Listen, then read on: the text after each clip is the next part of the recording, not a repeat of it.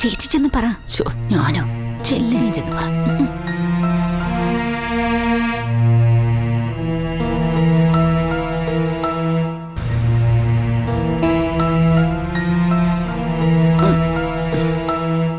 ആ എന്താ ചേച്ചി? വിജയമ്മ എന്തിയെ? ചേച്ചിക്കെന്തോ പറയാനുണ്ടെന്ന്. അതിന് നീ എന്തിനാണ് ഒളിച്ചിരിക്കുന്നത് നീ കേൾക്കരുതാത്ത രഹസ്യമല്ലാണോ ചേച്ചിക്ക് പറയാനുള്ളത്? ഗോവിന്ദൻകുട്ടി ഇരുന്നിട്ട് എനിക്ക് ഇരിപ്പ് ഉറയ്ക്കുന്നില്ല. കിടന്നിട്ട് ഉറക്കവും വരുന്നില്ല. പൈസ വലുതും ആയോ? കല്യാണം ഒന്ന് നടക്കുവോ?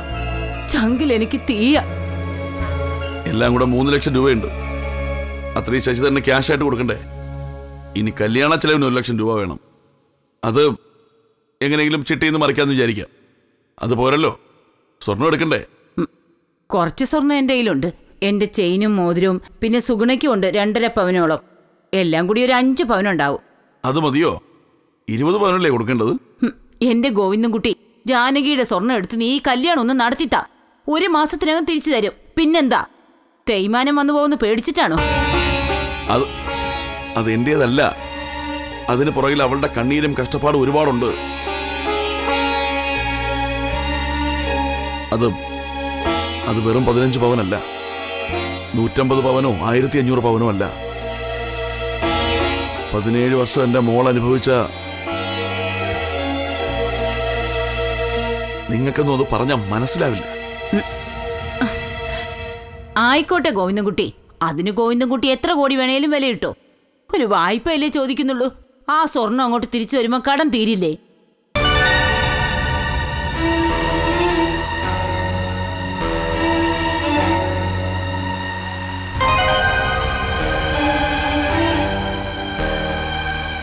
ഒരു പെണ്ണിന്റെ കല്യാണം മുടങ്ങുന്നതിനേക്കാൾ വലുതാണോ? വെറുതെ പൂട്ടി വെച്ചിരിക്കുന്ന ഇത്തിരി സ്വർണം.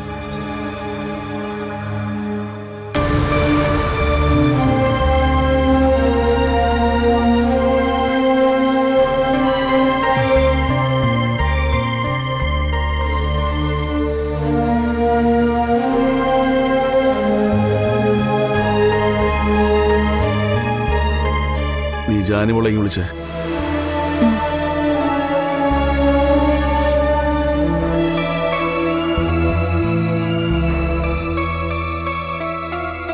നന്ദി സ്നേഹമുള്ള ആരെങ്കിലും ആണെങ്കിൽ നിങ്ങൾ ചോദിക്കാതെ തന്നെ ഞാൻ സന്തോഷത്തോടെ ചെയ്തേനെ.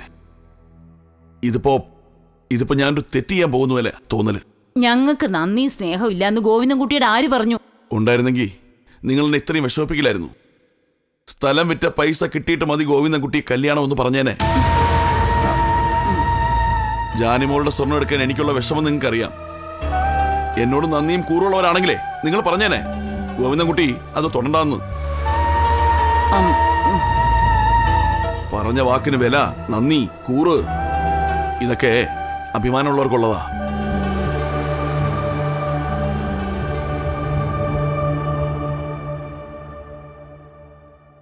എന്താ അച്ഛാ?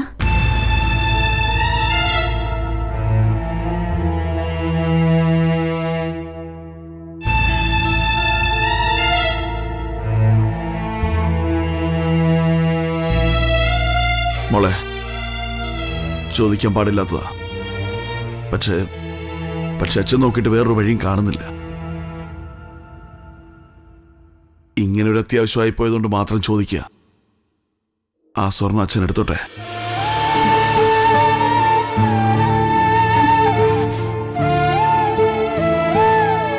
ഒരു മാസത്തിനകത്ത് തിരികെ തരാം. പണയം വയ്ക്കാനോ വിൽക്കാനോ ഒന്നും അല്ലല്ലോ. ഒരു വായ്പയായിട്ട്. അതേപടി തിരികെ തന്നേക്കാം. ഇത് കുറച്ച് കഷ്ടാട്ടോ അച്ഛ. അച്ഛൻ എന്തിനാ എന്റെ അടുത്ത് അനുവാദം ചോദിക്കുന്നത് ഒരിക്കലും തിരിച്ചു തരില്ല എന്ന് പറഞ്ഞാൽ പോലും ഞാൻ എതിര് പറയില്ലല്ലോ.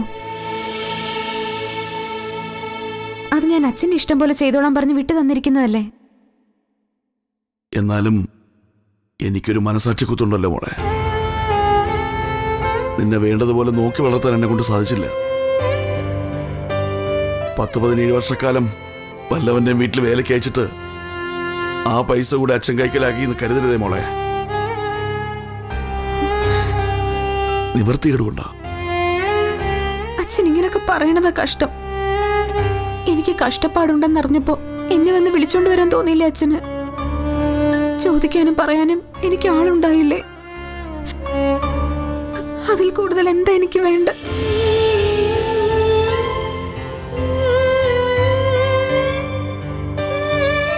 ആരോരും ഇല്ലല്ലോ എന്ന് വിചാരിച്ച് ഞാൻ എന്തോരം സങ്കടപ്പെട്ടിട്ടുണ്ട്.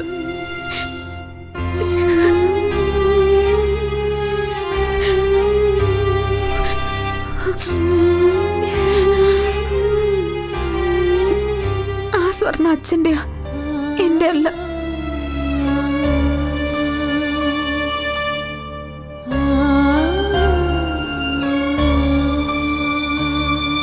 പക്ഷേ നിന്നെ വിലയില്ലാത്തവർക്ക് വേണ്ടിയാണ് ഇങ്ങനൊരു സഹായം ചെയ്യുന്നതെന്ന് ഓർക്കുമ്പോൾ ഒരു വല്ലായ്മയുണ്ട്.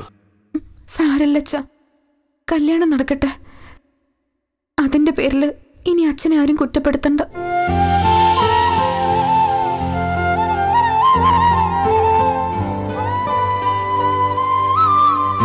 ഞാൻ പോയി കിടന്നോട്ടെ.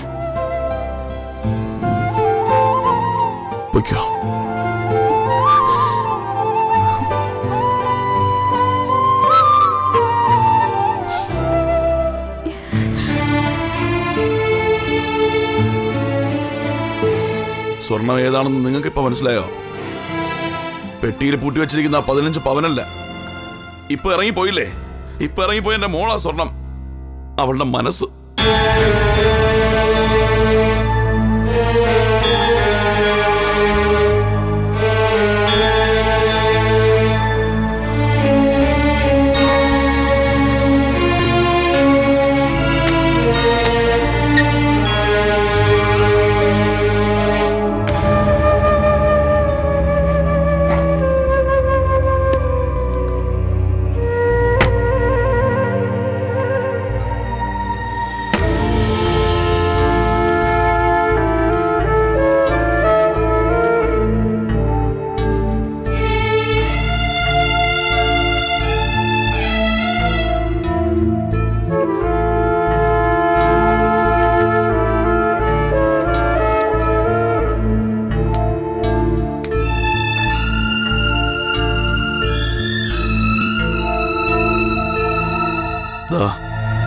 എന്റെ മോൾ പറഞ്ഞതുപോലെ കല്യാണം നടക്കട്ടെ.